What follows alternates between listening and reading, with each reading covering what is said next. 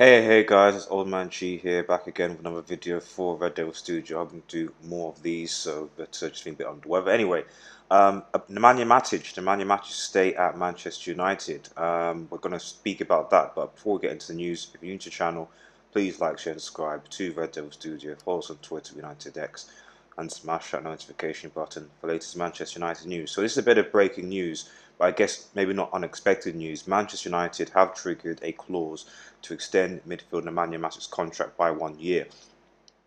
31-year-old whose three-year contract was due to expire this summer is also in talks with the club over lengthening the deal even further. Matic's recent form has encouraged United to extend his stay to 2021 and the Serb could remain beyond that. Matic has made 109 appearances for the Old Trafford club since joining from Chelsea in a 40 million deal in 2017. So there you have it, guys. Obviously, I wouldn't have been saying that probably um, maybe even you know three or three months ago. But Nemanja Matic's form this season has been very good. Um, he has stepped up to the plate. Um, he's just had to play more games.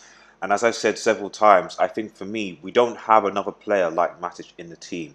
You know, we don't have a proper central defensive midfielder. And Nemanja Matic is that. Fred, McTominay, um, Bruno Fernandes and what have you are not that type of player. You know, they can't do that job, that that role. Sorry, um, Freddie McTominay could possibly fill in, but they, you'd have to make them that type of player. And I think for me, they're more um, almost box to box type of players, as you can see by obviously the goals that they score. When you look at the goals that Fred and McTominay score, they're that type of player. Matic um, and to score goals from a lot more, uh, a lot further out. And obviously, he helps to protect the back four. So, yeah, I don't know what you think, guys. Let me know what you think in the comments. But for me, um, this is this is good. This is good until we get, let's say, a Thomas Partey or someone you know that can play that proper DM role.